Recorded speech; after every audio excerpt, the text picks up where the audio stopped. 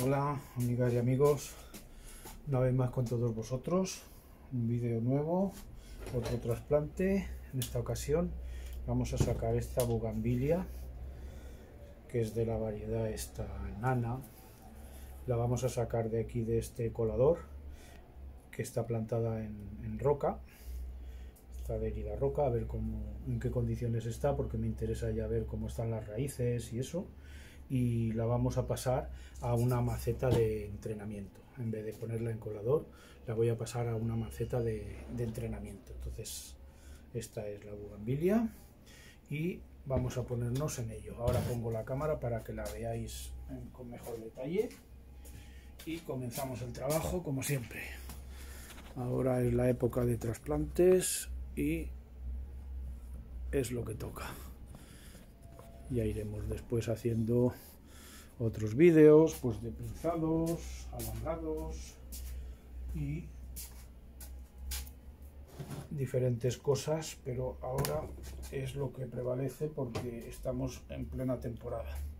Bueno lo primero vamos a ir quitándole todos estos alambritos que yo le he puesto como a modo de tensores porque las bugambilias a mí es una de las plantas que más me gustan, pero es bastante dificilillo de, de cultivar en el sentido de que, de que son bastante quebradizas las ramitas y a nada que, que te pasas alambrando y eso, pues quiebran.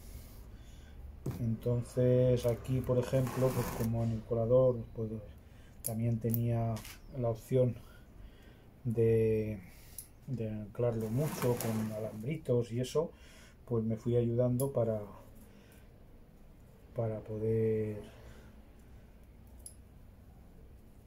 amarrarla. ¿Ves? Esta ramita solamente a lo mejor de cuando estoy regando eso, a veces que pasas muy cerca con la o con la regadera o, o con la lanza de riego y tocas a lo mejor alguna, pues enseguida se parten.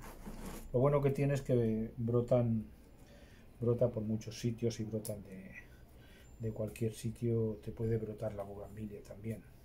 Y eso es lo que nos salva bastante, porque si no, no sería una planta muy divertida para bonsai porque ya digo enseguida que, te pasas un poco ya roto la ramita. Bueno le vamos quitando todos estos pequeños tensores porque así más o menos pues posicionas un poco las ramas y realmente no tienes que alambrar toda la rama y con el peligro que corres de, de romperla, que aún así, aún así aún se rompen muchas.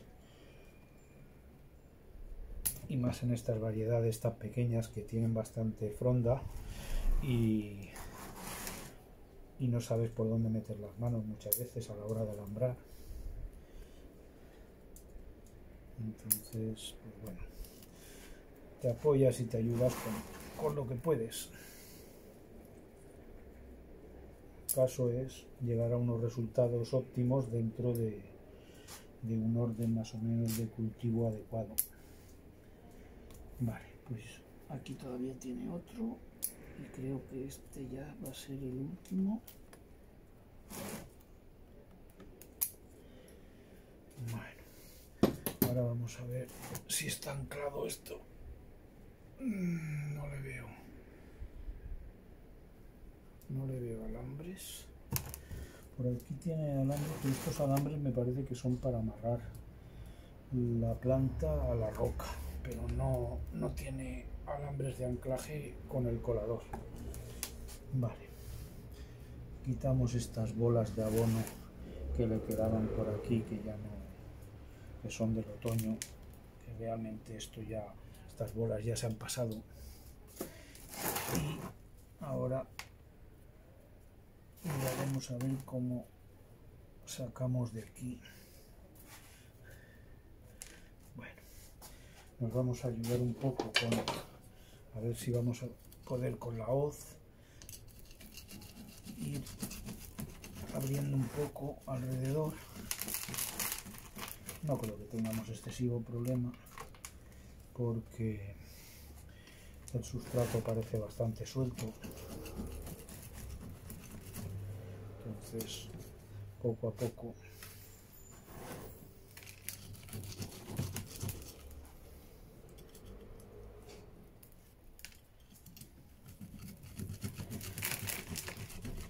Si hace falta lo soltaremos de la piedra y lo volveremos a anclar o le pondremos los anclajes más abajo a ver cómo, cómo han evolucionado las raíces por aquí. Y ahora ahora veremos a ver lo que hacemos. Vamos a intentar ya sacarlo a ver cómo sale. Bueno parece que parece que ya sale. En principio nos apoyamos aquí. Las bugambilias hacen unas raíces muy, muy, muy finas, aparte de que puedan echar alguna gruesa, pero son muy finas y muy... Hay que tener cuidado a la hora de limpiar ahora, porque si no podemos arrastrar mucho pan de raíces con, el palillo. A la de aquí ya, vamos, ni, ni por asomo la, la pongo porque rompería muchas raíces porque ya digo, son muy, muy blanditas, esto rompe con nada, es muy, muy blandito. Son muy buenas porque son raíces finas y bueno, aportan mucho nutriente, pero al mismo tiempo hay que tener cuidado con, con estas raíces. Bueno, pues ahora vamos a ir limpiando, siempre de dentro a fuera, con cuidado y vamos descubriendo a ver cómo como vemos las raíces aquí en la roca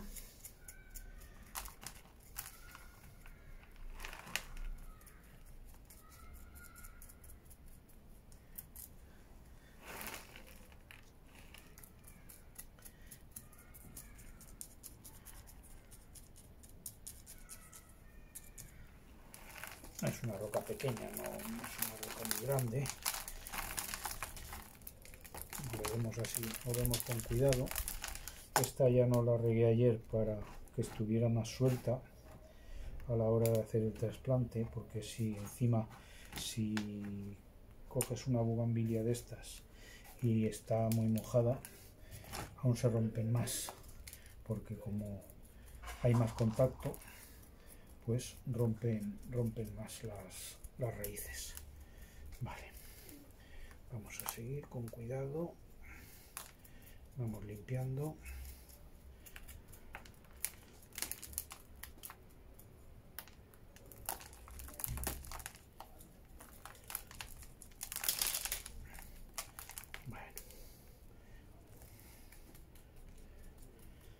Aquí tiene un alambre que por aquí le puse un trozo de goma para que no marcase en el árbol y ese alambre, ese sí que seguro que se lo voy a dejar porque es el que más afianza la, la planta con, con la roca.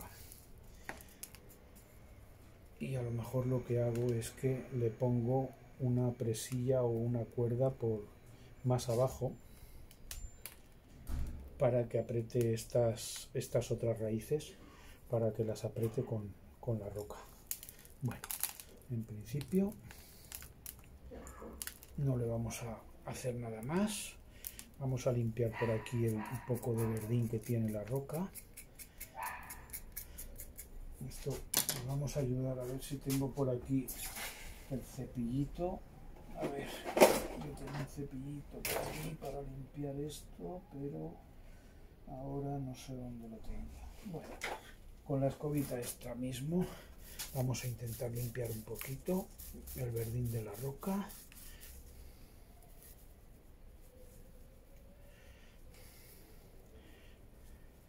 lo apretamos así un poco y entonces podemos limpiar un poco mejor aquí es que tengo puestas unas maderitas para, para que las raíces para que las raíces aprieten entre la presilla y eso queden más apretadas a, a la roca. Ahora le vamos a poner un poco de, de cuerda de esta de cáñamo. A ver, un momentito, que voy a traer la botella del spray de agua.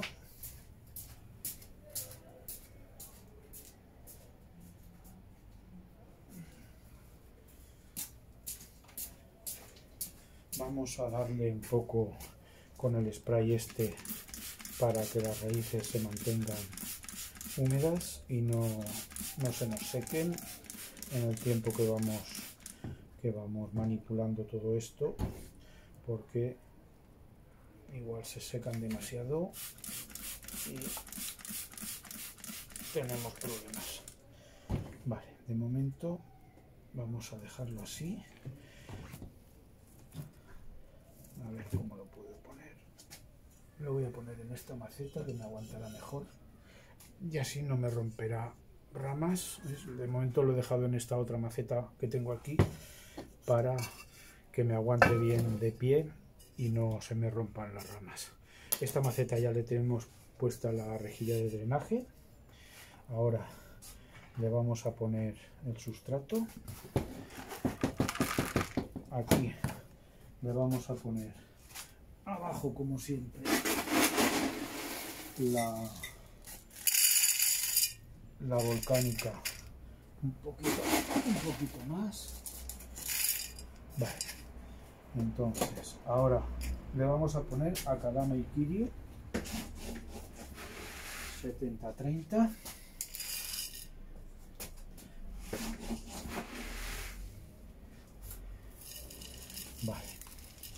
y ahora plantaremos aquí la roca a ver cómo queda. Y después el sustrato que le vamos a poner desde aquí. Quiero un sustrato rico Akadama Ikiryu 70-30 entonces el resto le voy a poner Akadama con un poco de pómice solo que ya no es un, un, un sustrato tan, tan rico. Y, y entonces las raíces irán más hacia abajo que es lo que me interesa para que crezcan pegadas a la roca y que, nazcan más fuertes. Le pongo un poco de carbón.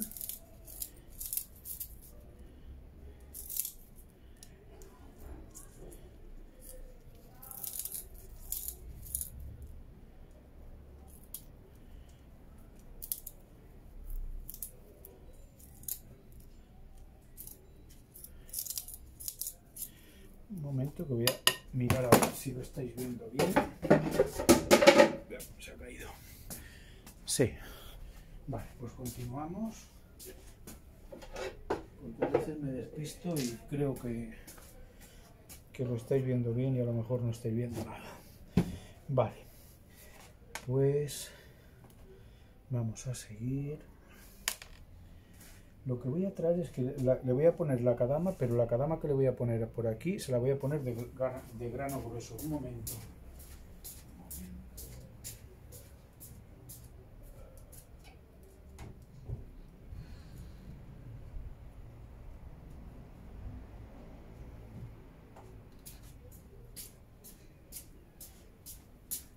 Bueno, ya tengo aquí la cadama ahora vamos haciendo tantos trasplantes que intentas tenerlo todo preparado, pero siempre vas viendo cosas al momento y, vas cambiando de opinión y hay cosas que a lo mejor no, no has preparado del todo. Bueno, ahora vamos a situar la... A ver, he dicho, he dicho que le iba a traer la cuerda, la tengo aquí. Aquí le vamos a poner cuerda de esta de cáñamo, me parece que esto es cáñamo, no sé. Le vamos a poner rodeando la, la roca esta, le vamos a poner a las raíces estas, entonces así la podemos coger desde más abajo. Siempre nos dejamos un cabo, un trozo eh, y cogemos con el dedo, apretamos y entonces vamos, vamos amarrándola alrededor de la roca, lo vamos amarrando las raíces estas para que queden tensas. Entonces lo bueno que tiene esta, esta cuerda, que me parece que ya habéis visto algún vídeo que he hecho algo parecido. Y lo bueno que tiene es que esta cuerda con el tiempo ella sola se va deshaciendo. Entonces las raíces habrán ido creciendo, pero ya habremos conseguido que nos, eh, adosen hacia la roca eh, las raíces. Entonces habremos conseguido eso y realmente ya tenemos la roca bien amarrada con las raíces y ella sola se irá deshaciendo con el tiempo y no ejercerá presión estrangulando ninguna raíz ni dándonos problemas. Entonces yo uso esto y a mí me va bien, no sé. Si lo queréis, si lo queréis probar en alguna ocasión que hagáis algún trabajo como esto. Entonces ahora lo que hacemos es que como nos hemos dejado aquí un cabo de estos, lo que hacemos es que ahora con la otra punta, el otro extremo, lo atamos bien fuerte y le hacemos un par de nudos para que no se nos suelte. Bueno, ahora anudamos fuerte, sin pasarnos, no la rompamos ahora.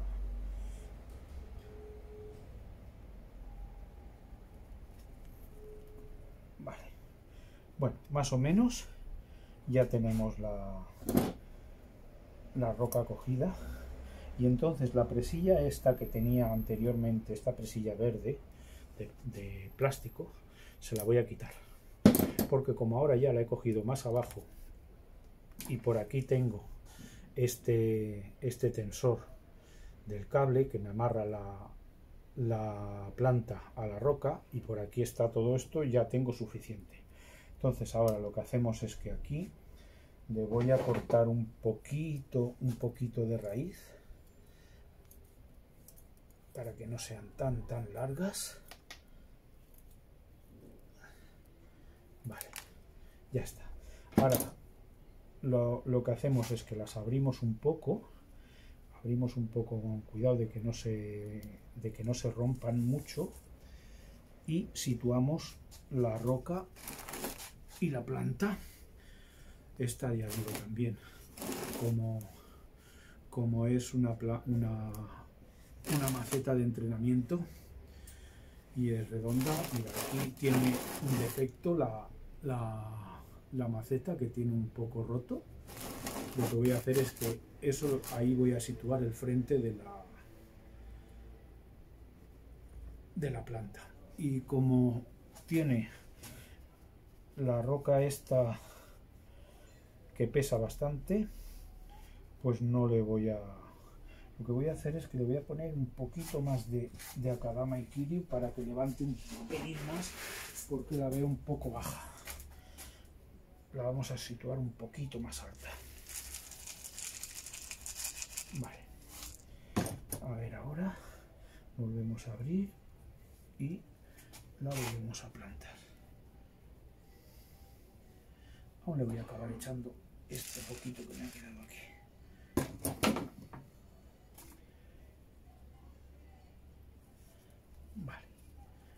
la situamos bien.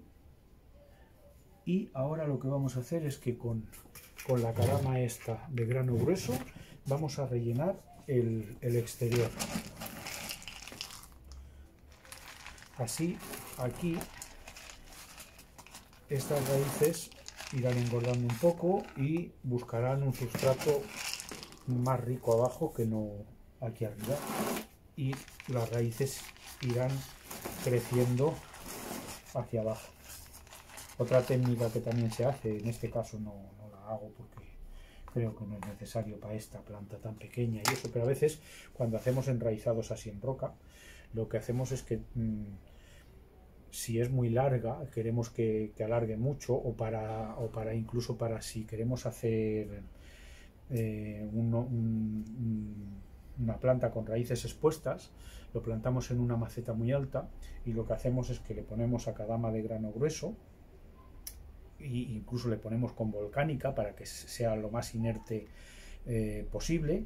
Y eh, abajo incluso le ponemos unas bolas de, de abono para que las raíces vayan abajo, vayan engordando las que van, las que pasan por esa cadama gruesa y volcánica, pero se nutran abajo con raíces finas y esas van engordando y van buscando las raíces finas abajo y así eh, provocamos que haya raíz gruesa porque tenemos un grano grueso y poco y de poca calidad y entonces van buscando un, un sustrato mucho más rico abajo que es a cada meiquirio a lo mejor y además lleva el abono que le hemos puesto y entonces pues eso nos hace que evolucione mucho mejor. Le vamos a, plantar un poco de, de pómice con, con la cadama esta de grano grueso que también le podía haber puesto pómice de grano grueso pero ahora por no sacarlo también que lo tengo aparte pero palilleamos un poquito para que se vaya mezclando un poco el pómice con, con la cadama y aparte la cadama se vaya situando y nos vaya entrando el sustrato en las raíces. Tampoco nos vamos a pasar de palillear porque ya digo, son raíces bastante, bastante finas y no son muy duras las raíces de la bugambilia y si palilleamos con mucho con mucha fuerza podemos ir rompiendo sin darnos cuenta dentro las raíces. Bueno, aquí lo que nos interesa casi ya es... Y a este ya digo, a este no le he puesto alambre de anclaje porque con la roca que tiene, salvo que tengamos un percance muy grande, no se va a mover el árbol. Entonces le, voy a poner un poquito más de un poquito más de acadama y un poquito más de pónice y ya lo tendremos trasplantado. Esto poco a poco estas esto que estas que cogemos así en, roca pues poco a poco eh, las vamos a las vamos subiendo un poco la altura poco a poco hasta que las raíces ya se posicionan y amarran bien la roca. Y entonces ya una vez que ya la tengamos en su sitio pues ya la podemos plantar en una maceta de exhibición la maceta que nos guste. Y entonces eh, realmente casi el 80% de la roca o más ya queda expuesta. Y entonces queda mucho más bonita. Así pues todavía estamos no sé estamos ahora ya lo tenemos en algo más del 50% de la roca ya expuesta pero aún nos queda mm, por lo menos un par de años más para que esta, esta roca se pueda poner ya en una maceta de, exhibición y quede bien, bien, bien anclado y bien afianzado en, la roca la, la, planta. Vale, pues ahora ya, cuando brote, empezaremos con los pinzados y con con todas las cositas que le tenemos que hacer a, este, a esta planta. Vamos a ponerle la etiqueta con la fecha. Así sabremos cuando tenemos que abonar y cuando hemos realizado el trasplante para el año que viene tener una referencia y si conviene hacer trasplante lo hacemos y así sabemos si ya lleva un año, si lleva dos. Vale. Bueno, pues en principio, a ver, esto y ahora os enseño cómo ha quedado. ¿Veis? En principio, pues bueno, este más o menos sería el frente, que lo he puesto que queda con el rotito este de la maceta. Son macetas de estas de barro que, bueno, tienen un poco de semejanza a las de entrenamiento. Son más baratitas y a mí me bien. Vale, pues ya tenemos otro trasplante más. Entonces seguiremos haciendo vídeos de otros, otras variedades y ya os lo, os lo iré grabando para que veáis lo que os interesa y, y si os gusta o alguna técnica que no conocéis o o si os parece bien o no. Bueno, el caso es que compartamos cosas y que, veamos y cada uno aporta lo que, lo que puede dentro de, de su sabiduría. Bueno, pues nada, muchas gracias y hasta el siguiente vídeo. Mucha suerte.